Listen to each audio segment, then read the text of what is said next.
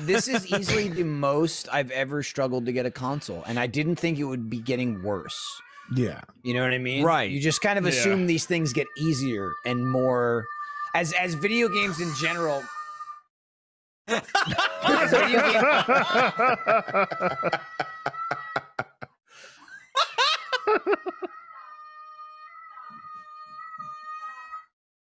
as video games in general become more mainstream, you'd think like they'd be easier to acquire. They'd make more. The system to uh, get one would be simpler, and it's this is.